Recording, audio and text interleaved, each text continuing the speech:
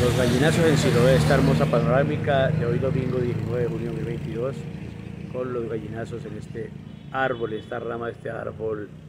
a estas horas de la mañana, en víspera a las elecciones de hoy 19 de junio, elecciones en la segunda vuelta, Siloé TV en YouTube, Siloé TV en YouTube. Estamos en la vuelta del diablo, hoy domingo 19 de junio, con una temperatura de 21 grados.